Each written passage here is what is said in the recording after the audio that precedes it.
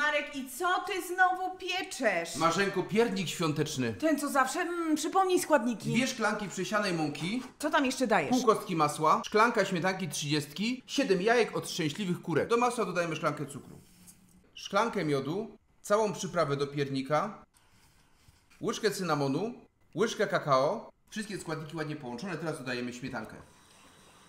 Po zagotowaniu odstawiamy do wystudzenia. Oddzielamy żółtka od białek. Jajka gotowe, zabieramy się za bakalię. Bakalię kroimy na drobne kawałeczki. Masa zgęstniała, dodajemy do mąki.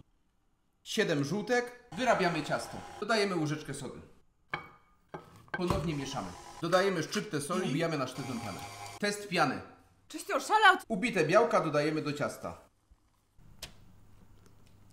180 stopni, pieczymy około 60-70 Ja minut. jestem ciekawa jak smakuje. I jak? Pyszny, mięciutki. Czuję już klimat świąt.